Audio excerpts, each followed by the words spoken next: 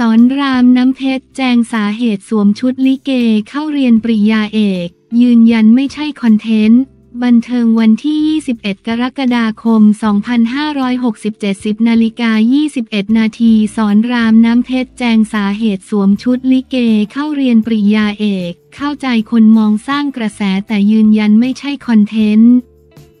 กลายเป็นไวรัลหลังเพจ Facebook ของ มหาวิทยาลัยนอร์ทกรุงเทพได้มีการเผยภาพของพระเอกลิเกชื่อดัง แบงค์ศรรามน้ำเพชรใส่ชุดลิเกไปเข้าเรียนปริญญาเอก ซึ่งต่อมามีหลายได้เห็นมองว่าเป็นคอนเทนต์เรียกกระแสตำนานอีกแล้วพระเอกดังเสร็จงานก็รีบมานั่งเรียนปริญญาเอก ทั้งในชุดลิเกล่าสุดแบงค์ศรรามมาร่วมงานครบรอบ 45 ปี นิตยสารแพรวแพรว Talk 2024 The Inspiration ณเซ็นทรัลเวิลด์เจ้าตัวก็ให้สัมภาษณ์ในเรื่องนี้อย่างที่มีภาพแบงค์ใส่ชุดลิเกไปเรียนคือแบงค์ไปเรียนตอนเช้าแล้วก็ไปงานลิเกตอนบ่าย และต้องกลับมาพรีเซนต์ในคลาส เพราะมีอาจารย์พิเศษมาบรรยายเราขาดไม่ได้ ก็เลยรีบกลับมาถึงมหาวิทยาลัยเกือบห้าโมงเย็น ก็ขึ้นไปทั้งชุดนั้นเลย แต่มีการแจ้งอาจารย์กับทางมหาวิทยาลัยไว้แล้วครับ ก็เลยเกิดภาพนั้นขึ้นมา แต่แบงค์เข้าใจที่หลายๆ คนอาจจะคิดว่าเป็นคอนเทนต์เรียกกระแส เพราะหลายๆ คนอาจจะไม่รู้ที่มาที่ไปว่าทำไมแบงค์ถึงใส่ชุดลิเกก็จะบอกว่าถ้าไม่มีงานแบงค์ก็ไม่ใส่ชุดลิเกไปเรียนหรอกครับ คือแบงค์เตรียมใจและเตรียมตัวไว้แล้วครับ คือปริญญาเอกค่อนข้างซีเรียสมากๆ เราก็ต้องทุ่มเต็มที่ เพราะว่าไม่อยากให้ใครมาตั้งข้อสงสัยว่าเราไปเรียนจริงไหม ยอมรับว่าตื่นเต้นกับว่าที่ด็อกเตอร์มากๆครับสองปีแปดเดือนก็จะเต็มที่ครับ ถามว่าจะใส่ชุดลิเกเข้ารับปริญญาเลยไหม วันแรกคงต้องเป็นชุดครุยก่อนครับ ส่วนอีกวันก็ค่อยเป็นชุดลิเก เพราะแบงก์ก็ภาคภูมิใจนะ เราเป็นพระเอกลิเกทำอาชีพลิเกมาตั้งแต่เด็กจนถึงตอนนี้ จนได้เป็นว่าที่ด็อกเตอร์ตอนนี้คิวงานไปถึงปี 70 แล้วครับ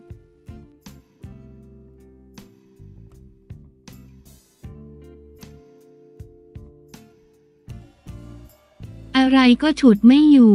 วันชัยทำนายชะตา ทักษิณดวงราชาโชคต้องมาเสริมบารมีรัฐบาลการเมืองวันที่ 21 กรกฎาคม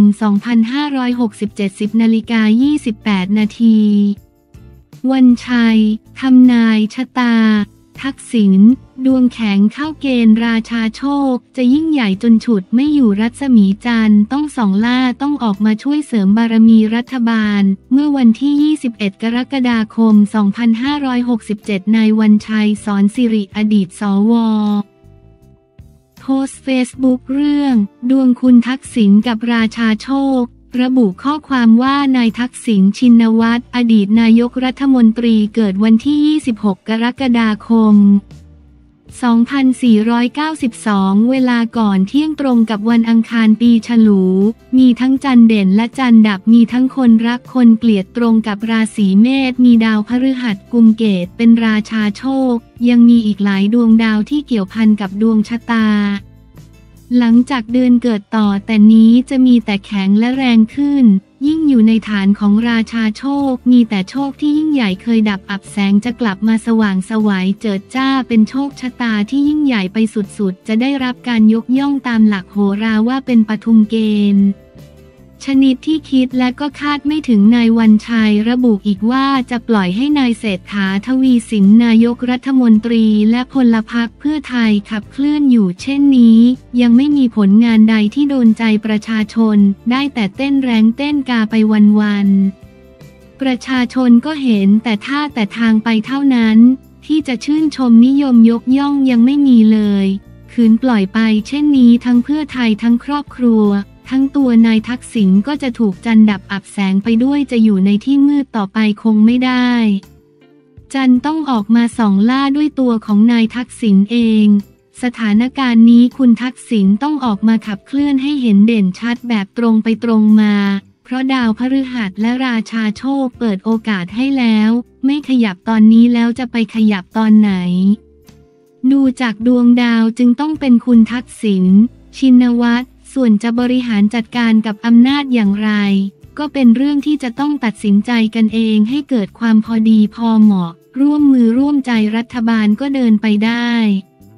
คุณทักษิณก็เป็นกำลังเสริมเติมให้เปรี้ยงปร้าง ดาวพฤหัสและราชาโชคมาถูกที่ถูกเวลากับชะตาของเขาอะไรก็รังไม่หยุดฉุดไม่อยู่ นายวันชัยระบุ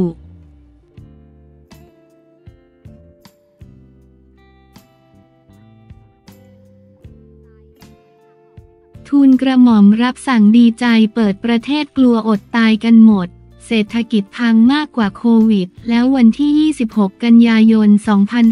2563 15นาฬิกา59 นาทีทูลกระหม่อมรับสั่งดีใจเปิดประเทศกลัวอดตายกันหมด เศรษฐกิจพังมากกว่าโควิด แล้วรับสั่งควรคิดถึงประชาชนรากหญ้าที่เดือดร้อน กว่าคนมีเงินที่กลัวโควิด จากกรณีหลังที่ประชุมคณะรัฐมนตรีเมื่อวันที่ 15 กันยายน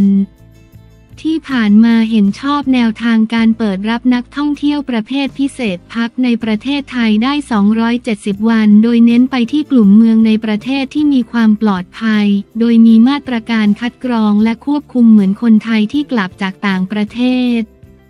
คือต้องกักตัวในโรงแรมที่เข้าร่วมเป็นสถานกักเชื้อ ASQ 14 วัน และมีการตรวจหาเชื้อตั้งแต่ก่อนเข้ามาภายใน 72 ชั่วโมง ตรวจหลังเข้ามาแล้วอีกหนึ่งครั้งโดยตลอด ซึ่งย้ำว่าต่างชาติที่ต้องการเข้ามาจะต้องกักตัวอย่างน้อย 14 วัน และไม่อนุญาตให้เดินทางออกนอกพื้นที่ที่กักตัวอย่างเด็ดขาดไม่ว่าจะเป็นนักท่องเที่ยวต่างชาติในกลุ่มใดก็ตามเกาะติดข่าวกดติดตามไลน์ข่าวสด ล่าสุดทูลกระหม่อมหญิงอุบลรัตนราชกัญญา สิริวัฒนาพันวดี ทรงโพสต์อินสตาแกรม ส่วนพระองค์ nichax ว่า Good Morning Wednesday วันพุธวันสีเขียวค่ะ รูปที่ลงในวันนี้เป็นภาพถ่ายแบบในนิตยสาร To Be Number One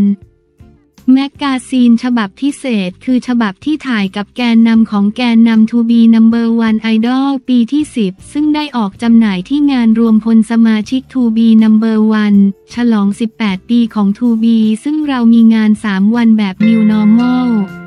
และวันที่ 17 กันยายนเราจะมีคอนเสิร์ตด้วยงานมีที่ Impact เมืองทองธานี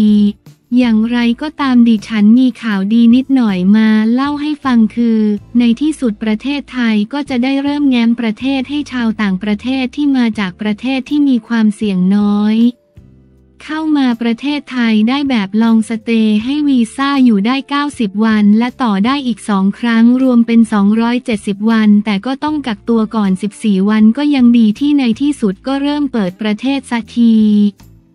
หลังจากปฏิเสธหลายๆ ออปชันเช่น เครื่องหมายสี่เหลี่ยม Travel Bubble และใช้บริเวณพิเศษให้นักท่องเที่ยวเริ่มเข้ามา แต่เริ่มดีกว่าไม่เริ่ม เพราะเราน่าจะกลัวอดตายกันไปหมด และเศรษฐกิจพังมากกว่าโควิดแล้ว และก็มีข่าวดีอีกอันคือ South China Morning Post รายงานว่าทาง CDC จีนจะเริ่มผลิต Mass Production วัคซีนต้านโควิดในเดือนพฤศจิกายนนี้แล้ว เป็นข่าวดีมาก เพราะถ้ามีวัคซีนเราก็จะเปิดประเทศได้ไม่ใช่แค่แง้ม แง้มเครื่องหมายสี่เหลี่ยม COVID 19 Test Test Test Contact Tracing เปิดการท่องเที่ยว TAT วัคซีนรวมพลสมาชิก To B ไม่ว่างไม่ใช่ไม่สวย ทั้งนี้ มีชาวเน็ตเข้ามาคอมเมนต์แสดงความคิดเห็นว่า เริ่มพอเห็นแสงสว่างที่ปลายอุโมงค์นะคะ ขอให้มีแต่สิ่งดีๆ เกิดขึ้นต่อจากนี้นะคะ ทูลกระหม่อมทรงตอบกลับว่าควรรีบเปิดประเทศได้แล้วเพราะควรคิดถึงประชาชนรากหญ้าที่เดือดร้อนกว่าคน มีเงินที่กลัวโควิดกว่ากลัวเศรษฐกิจพัง